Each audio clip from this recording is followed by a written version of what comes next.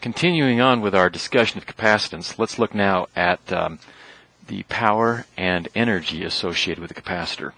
You'll recall that we have talked about a capacitor as being a device with two conducting materials separated by a non-conducting dielectric, and that when there is a current flowing, or we can talk about uh, defining a current and a voltage, and that when the current is referenced going from plus to minus, then taking care of the signs, we have that I, the current flowing through capacitor, is proportional to the derivative of the voltage. A couple of things are implied by this. With current reference from plus to minus, let's look at what that means in uh, this relationship here. Current going from plus to minus means we're going to have a positive sign here.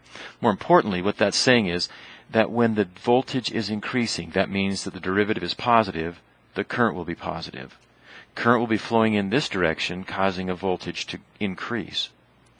When the voltage is decreasing, that means the derivative will be negative, and then the current will be negative, or that there will be a net flow of charge from the capacitor. Positive current going from positive to negative voltage, increasing the voltage. We talk about charging the capacitor. When the current is or charge is leaving, and the voltage or the derivative is negative, we talk about discharging the capacitor. With this reference of current flowing from positive to negative voltage, we now can talk about the power associated with the capacitor, and it will be equal to positive I times V. Power is always I times V. The fact that it's referenced, the current is referenced plus to minus tells us that we have the positive sign there. Well, I is equal to C dV dt. So there's my I term times V. Now what is power? Power is the time rate of change of energy. It talks about how quickly the energy is changing, how the energy within this capacitor is changing. When power equals zero, it means that the energy isn't changing. The energy isn't changing means it's constant. So if the power is zero, the energy associated with this capacitor will be constant, not zero. When P equals zero, when P equals zero, dV dt equals zero. So power equals zero implies dV dt equals zero, or that the voltage isn't changing. I guess we could even say that, that voltage is constant. How do we understand this energy being stored in the capacitor? Well, we know that a capacitor with a voltage on it has a separation of charge, which implies that an E field has been established, and the work associated with establishing that separation of charge in the E field is the energy that is stored in there.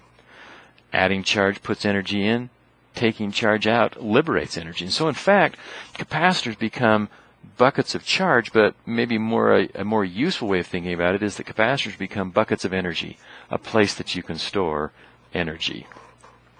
So let's look a little more closely here at power. Power, as we've already pointed out, is the time rate of change of energy, which is equal to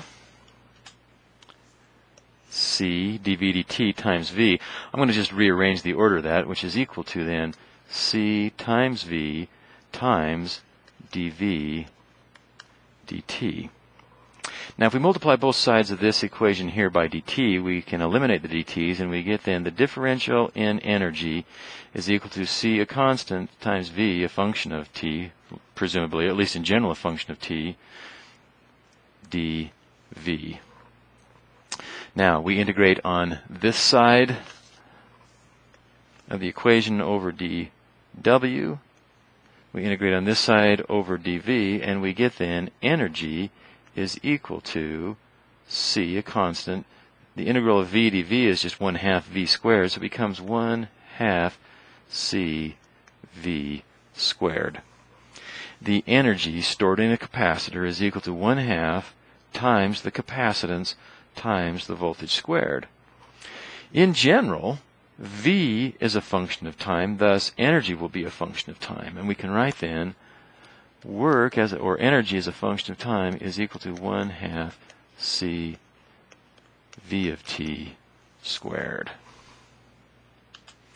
The form of this equation is reminiscent of an energy formula that we've seen someplace else. This is meant to be a spring, not a capacitor.